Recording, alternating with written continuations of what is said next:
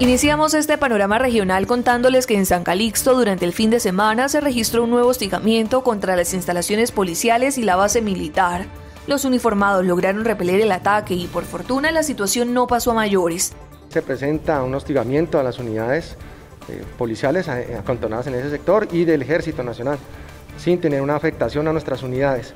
Eh, la ofensiva que continúa con la delincuencia, los grupos del GAOR asentados en la zona, pues que pretenden amedrentar la fuerza pública y pues por el contrario lo que encuentran es la respuesta de, nosotros y que no vamos a dejarnos eh, amedrentar y continuamos de la mano con la comunidad fortaleciendo la seguridad ciudadana. Las autoridades extreman las medidas de seguridad para evitar atentados violentos en esta zona del Catatumbo. De otra parte, CENIT, filial del grupo Ecopetrol, activó un plan de contingencia luego de que la comunidad alertara de un daño ambiental por cuenta de un derrame de crudo en las veredas San Miguel y Campogiles de Tibú. La empresa informó que al momento de la contingencia, la infraestructura petrolera se encontraba reiniciando labores de bombeo, por lo cual de manera preventiva se tenían instalados cinco puntos de control provisionales y uno permanente. El Ejército Nacional se desplazó hacia la zona para asegurar los sectores y poder garantizar la entrada de personal técnico para evaluar el evento y atender la emergencia.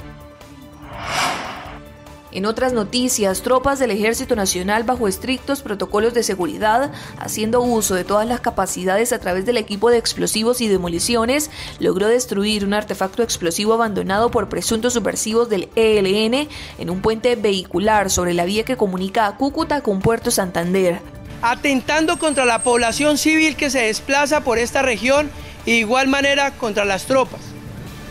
Hoy los soldados de Colombia estamos dando parte de tranquilidad para toda la región del Catatumbo.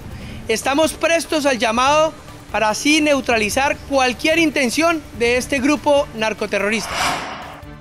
Finalmente les contamos que la Policía Nacional entregó un positivo balance operativo durante el puente festivo en norte de Santander, destacando la materialización de cinco capturas y una aprehensión por diferentes delitos como violencia intrafamiliar, receptación y tráfico de estupefacientes, cuatro motocicletas y dos camionetas recuperadas y un caso de incautación de licor de contrabando.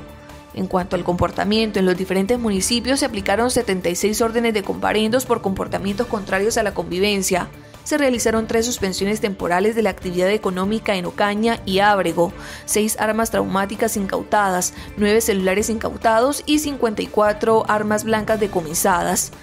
El balance en las vías del departamento fue positivo, ya que no se presentó ningún accidente de tránsito.